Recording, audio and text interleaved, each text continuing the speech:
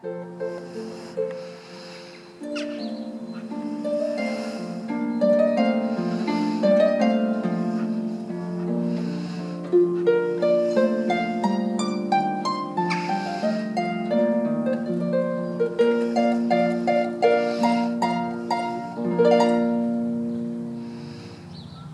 hier dat jullie even mensen van zijn.